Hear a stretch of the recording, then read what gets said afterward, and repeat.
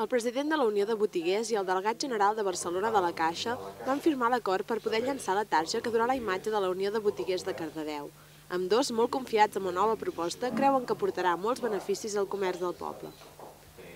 Ajudarà a cohesionar tot el comerç de Cardedeu perquè serà una targeta que només es pot utilitzar als comerços de Cardedeu associats a la targeta i que servirà també per temes culturals i temes socials. Llavors, a través d'aquesta targeta es podran fer campanyes, eh, doncs, aprofitarem per fer campanyes de Nadal, campanyes solidàries i també hi haurà incentius per compra.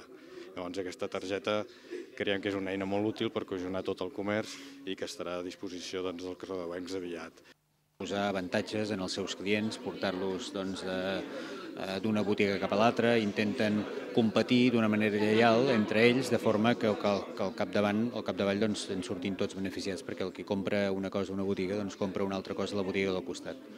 I nosaltres el que fem aquí és, com deia abans, posar la tecnologia de targetes que és capdavantera al món al servei d'aquesta unió de botiguers i dels ciutadans i, els, i dels vilatans de Cardedeu de forma que puguin mm, comprar doncs, utilitzant aquesta targeta i obtenint altres avantatges que també l'Ajuntament els ha, els ha, s'ha posat d'acord amb la Unió de Botiguers per, per, per donar. Eh?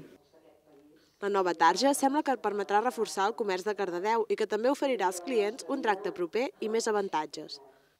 Amb aquesta tarja, els usuaris podran disposar de programes de promocions i estar al dia de possibles premis que aquesta otorgui. La proposta forma part del servei Prèmia de la Caixa, que fa que les botigues puguin realitzar campanyes personalitzades, ja sigui basades en el nombre de compres o en el tram horari. La nova tarja es podrà adquirir gratuïtament. A més, aquesta té previst començar a ser operativa a principis del mes de novembre.